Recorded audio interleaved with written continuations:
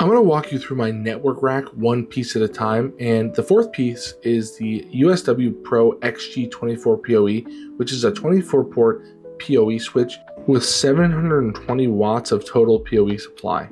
If you don't know, PoE stands for Power over Ethernet, and it's when you supply both power and internet connection over an Ethernet cable.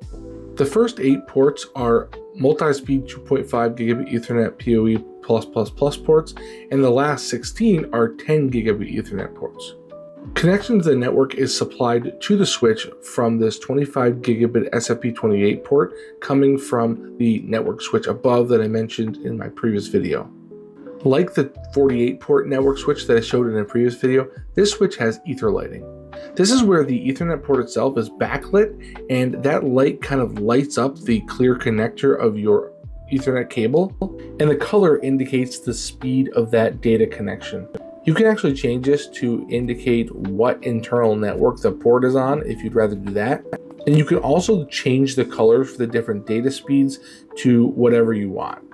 Just like with the previous switch that I showed, uh, you can also tap each port and it will tell you what device is connected to that port and also uses colors in the app to indicate the speeds of the various connections.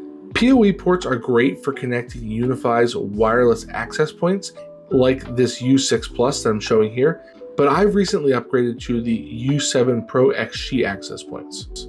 These PoE ports are also great for connecting PoE cameras, and I plan to install four UniFi G6 turret cameras in those slots. Lastly, since this switch is such a monster and produces so much power, it's actually really big and is deeper than most of their devices.